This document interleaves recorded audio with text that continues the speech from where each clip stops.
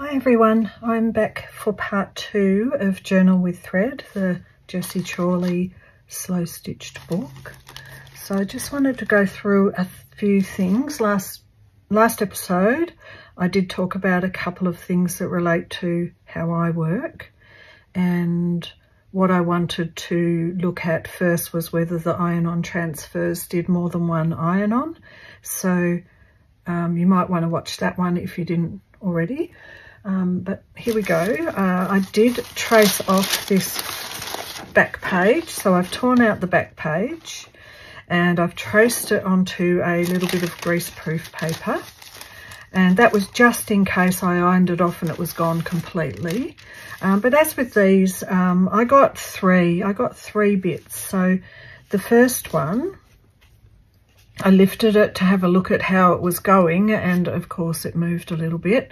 I'm no expert at these things and I'm still learning, but that could still be used if you use a thick thread and couch it down, bit, bit like Jessie's style.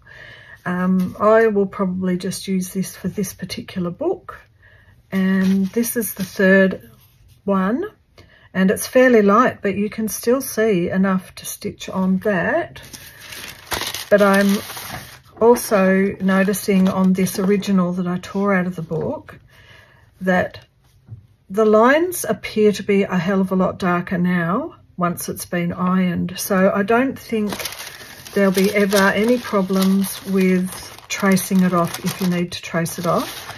Uh, the other thing is ironing it down probably see through, it'll come out the opposite way with the little needle with the thread on on the left as it looks on here. And that's how it'll look when you stitch it.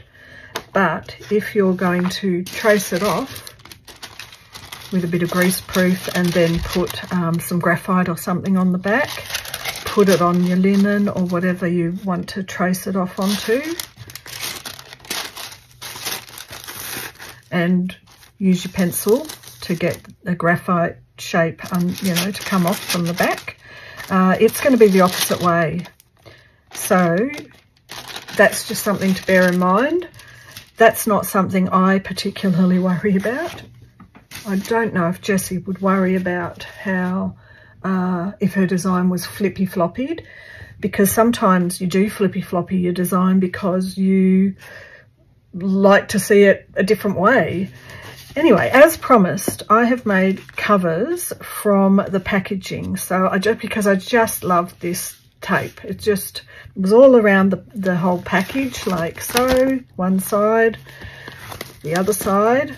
And I have kept the bubble wrap inside, lined it with a bit of spare material and some people will know this material if they've been watching me for a while. that sheet has got a lot of good use. And then what I've done is I've stitched all the way around. Actually, I stitched last and put this on last because I didn't say. I did a whole heap of collage. I've used some of Rachel's beautiful um, 19, uh, um, 1980s, 1890s or earlier um, Italian rag paper for my collage and a bird. And I did, on the last video, I showed you how I did a frottage of the, the raised surface. So this is a ra raised and putting this paper over it and using a um, wax crayon has given this this effect. So it's called frottage in French if you didn't watch last week's episode. So this is two. I've got this one. It's got my name on it because it came to me. So this will be my first one. And I will probably be putting a blend of paper and material in this and stitching probably down the middle. Same with this one. And this has got the whole journal with thread cover on there. Um, and the swan, which is one of the motifs. So uh, these are going to be two little journals. This one's going to definitely be mine and be my working as I go. This one, I don't know yet. We'll wait and see. Anyway, as per the instructions from the book, I have got, this is a damask tablecloth. It's got um, wadding in the middle. I've tucked all the edges over and I want to just show you how beautiful this inside.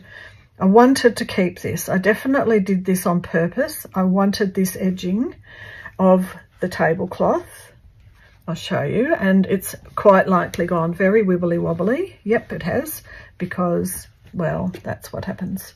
And I, am not doing anything about that. That's just the way it is. And let's have a little stitch. So there'll be an outer one and an inner one.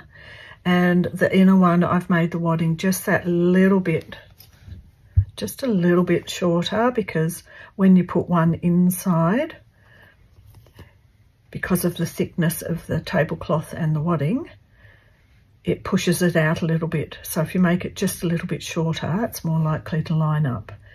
I think with my work, I'm not really, I'm not trying to be absolutely perfect because I've really only been stitching for quite a short while, like really in terms of some people who've been doing it all their life. So for me, every time I do a project like this, I acknowledge that I'm learning still. it's been three, four years, so I've learned a lot, but there's still things I learn. And, you know, I really admire people that can get this absolutely perfect line and this perfect square shape, etc. But every time, like I say, every time I do a project like this, I learn something that makes makes it a bit easier. For instance, when I was ironing the batting, it's wool. And for I just have my iron set on for cotton for everything.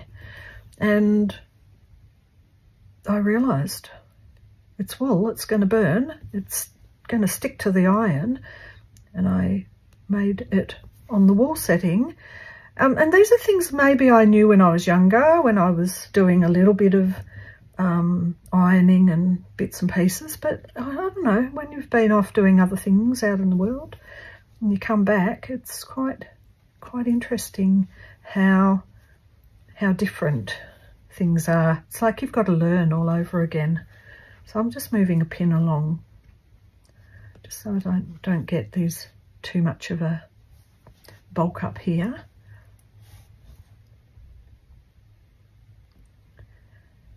It's really, really lovely to be doing a fabric book again. I know we've been doing them with Rachel and Sarah for quite a while um, and trying all different things like concertina and stuff like that. But I haven't actually been thinking, like I said in the last video, since I did the uh, book with Anne Brooke um, three years ago, I haven't made an effort to make a concerted, um,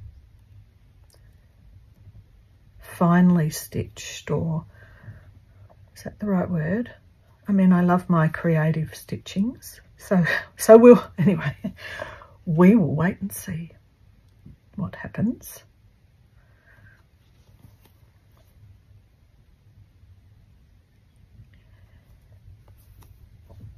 So even though we've got Jessie's template, she does say in the book that we can add our own flavour to that.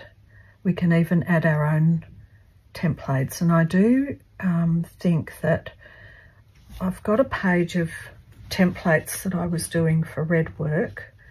It's got mushrooms and things on, so it might not, may or may not blend in with Jessie's style.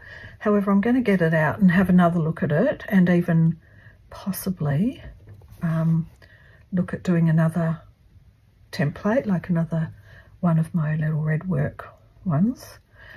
I do love uh, the picture of Jessie's book where it's all stitched like this around the edge with white on white. But the stitch for the seam is red. And I went, yeah, that's, that's right up my alley. I would love to do a bit more of my motifs in red and add them in throughout the book. So we're going to go on a journey together. And see what happens. So I hope you're joining in and stitching along and a couple of people have said to me from Instagram, they've said, oh, I got my book and everyone's a bit excited about it. So it's just going to be fun to use some of uh, Jessie's templates and uh, work a little bit in her style and learn learn as I go. Um, so that's it for today and thanks for coming along for the journey. Thank you to the wonderful new subscribers, um, great community, so wonderful. And uh, I will see you in the next one. Bye for now.